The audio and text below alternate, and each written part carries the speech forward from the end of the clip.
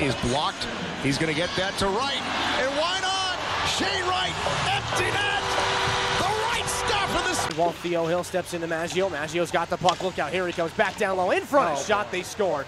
Shane Wright. A power play goal. Brilliant passing play from Harris. Hard play.